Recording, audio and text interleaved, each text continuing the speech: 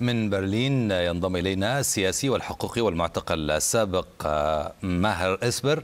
مرحبا بك أستاذ ماهر. الناس تريد أن تعرف تفاصيل أكثر عما يجري في سجن الصيدناية ولكن قبل ذلك كيف يمكن توثيق كل هذه الانتهاكات والتقدم بها للمحاكم الدولية من أجل ملاحقة الجميع؟ وكل شخص يأخذ حقه. مساء الخير لك وللمشاهدين. أهلا وسهلا.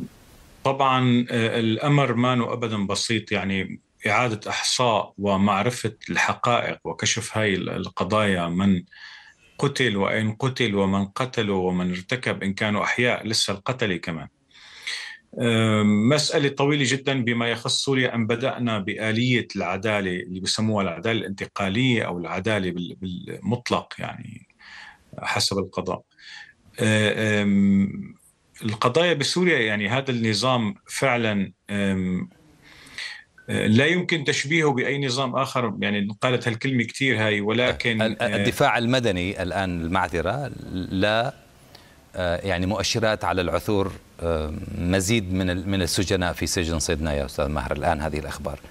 أنا أصدق الدفاع المدني للأمانة هو الرواية المنطقية الأكثر. أنا يعني من بداية الحديث عن حضرتك قلت يعني هذا اللي ما بيعرف تصميم السجن أنه ما, ما وصلوا للباب. الباب موصول له بس ولكن داخل السجن في كتلة من الأبواب هي هي المشكلة. داخل المسدس في الطابق الأرضي وفي بعض الطوابق أيضا فيها أبواب. ما ما فهمت أنا يعني سئلت عدة مرات على الكودات أو اللي بتفتح الأبواب يمكن هي الكلمة قال أحدهم من اللي كانوا موجودين اللي وصلوا بداية للسجن وشاف أنه في هذا العدد من الأبواب وما عم يفتحوا معه ف هي متاهة أبواب حقيقة بس لا يعني لا يمكن أنه ما تنحل. وأعتقد أنه يعني الكلام اللي عم يقولوه الدفاع المدني هو كلام دقيق. أنا شخص أقرب يعني ما فيني كذب أي رواية لأنه هذا السجن يعني هذا النظام ممكن تصدق عليه أي شيء وعم نشوف له كثير. فما فيك تقول تحط على مسؤوليتك أنه أنت تحكي على وجود تنفي وجود سجن آخر عم ينحكى عنه مثل ما انحكى بصيدنايا فأنا يعني كنت أجاوب على فقط الموجودين داخل السجن الأحمر اللي أنا ضليت فيه لفترة الاعتقال تبعي.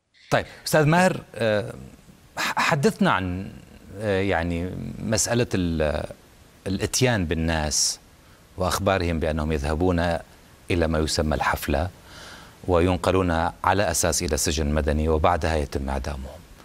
يعني اختيار عشوائي كيف؟ لا طبعا اختيار عشوائي في محاكم غالبا يعني محاكم شكلية صوريه تماما تقوم بالحكم على بعضهم على حسب أحيانا مزاج القاضي اللي عم يحكم. وهي وهي المحاكم يعني هي اللي بتقرر. هلا أحيانا ممكن السجان يقتل السجناء عادي يموتوا السجناء عادي. يعني هذا بلغة السجناء والسجانين الموجودين داخل السجن. بيطلع بيطلعوا له شهادة وفاة إنه توقف عن القلب بسبب جلطه أو سكتة دماغية أو إلى آخره. سبب يعني طبعا وهمي. ولكن عندما يتم الإعدام الاعدام حصرا يتم بقرار وحدة من المحاكم القضاء نحن يعني أنا شاهدت وحدة من حوادث الإعدام بعد وصولي بأيام قليلة بتصور إلى منفردات الألف بصيدنايا وكان أمامي يعني منفردي أنا كنت بمفردي رقم 10 كان منفردي رقم 6 فأنا بالتواصل مع أحد الأشخاص اللي كنت أحكي معه من خلال أنابيب المياه المواسير المي الفارغة بين المنفردات. قال لي الإعدام بيصير كل اثنين وخميس. إذا إجوا العساكر نظفوا الكريدور أو مسحوه الليل القبل يعني مساء واحيانا بيكون في بعض الإضاءة اللي يعني بدها تبديل أو شيء ببدلوها فمعناتها ثاني يوم في إعدام. ففعلا أحد الأيام إجوا عساكر اثنين ونظفوا الكريدور اللي نحن فيه والساعة تقريبا يعني الفجر خمسة إلا ربع الفجر بنسمع صوت ما في بالعادة بهذا التوقيت مفردات يعني تسمع فيها هذا الصوت. نزول أكثر من 10 أو 12 شخص وهذا المعتقل اللي موجود بالمفردة ستة وقفوا على باب وصار في حديث يعني كثير قريبين الابواب على بعض. أنت ما يعني ما في ثلاث أمتار ونص لأنه هو ضيق الكوريدورات تحت يعني تحت بالمنفردات هي. فأنا عم بسمع تماما هو عم يقاومهم ما بدي موت آه، لا تموتوني آه، بعدين صار يسبهم بعدين صار في آه، قاومهم.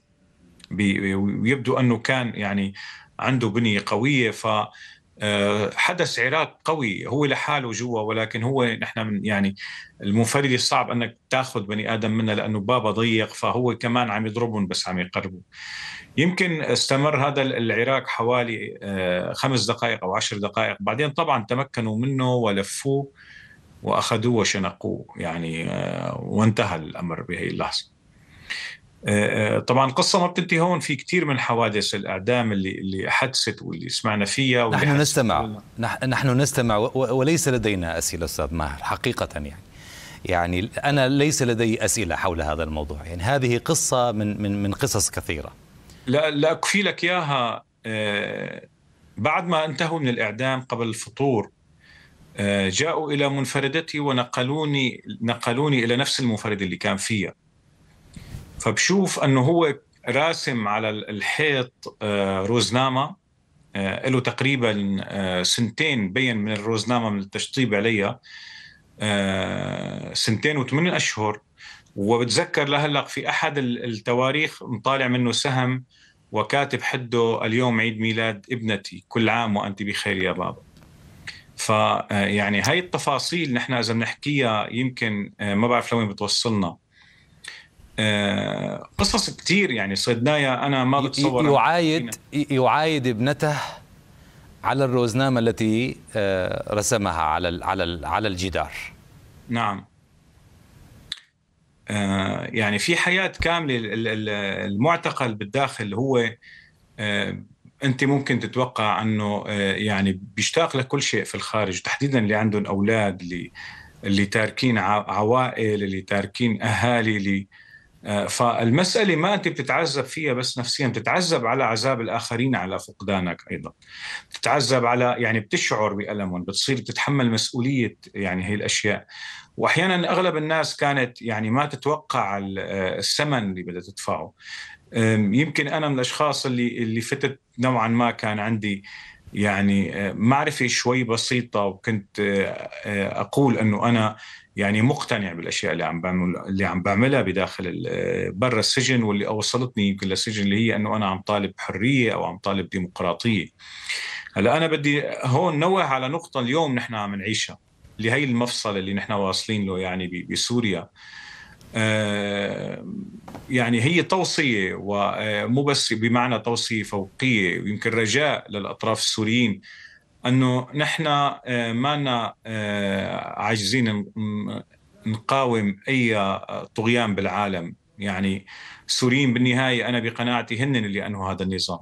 نعم. بعزيمتهم وحدهم ما العالم ما ساعدهم لا بالعكس ربما يعني تساعد ليخليهم بالوضع اللي كانوا موجودين فيه. آه وكل العالم عم بحكي أنا. وفي كثير يعني آه روايات نعم. لناس ما بتعرف كيف كيف تبنى القضايا وكيف قامت الثورة وكيف وعلى أي أسباب كيف كان الوضع الاجتماعي والسياسي في سوريا. حتى السوريين أنفسهم في كثير منهم شرائح بعيدة عن الحقائق وعن وضع النظام ووضع بقية الناس وآلامه والناس والسوريين ساكتين. إحنا كنا ما نتحدث لبعضنا ما عم بحكي أنا. يمكن أنا كنت أحكي كثير. وانشط واتحرك ب... بس بعرف يعني آه، الناس. وهي القضية أنا آه، ما بتخيل أنه نحن رح نتنازل بحياتنا عن حريتنا للثمن اللي دفعناه واللي عم نشوفه كل يوم. هذه رسالة هذه رسالة مفهومة أستاذ ماهر. يعني لا يفكر أحد بأن يكون مستبدا جديدا في هذا البلد. هذا ما أبداً. تريد أن تقول. أبدا أبدا. ونحن كسوريين رح نكون منتبهين جدا لأدق التفاصيل. ويعني لأي طرف في سوريا يريد أن يمنع أي طرف آخر حتى لو ما كنا نحن آه، آه، حقه في في الحياة وفي الحرية وفي الكرامة وأن يكون طيب. متساوي معه بكل شيء. يعني يعتقد الكثير من السوريين بأن لازمة إلى الأبد انتهت آه، أستاذ ماهر شكرا جزيلا شكرا لك من برلين السياسي والحقوقي والمعتقل السابق السوري الأستاذ ماهر أسبر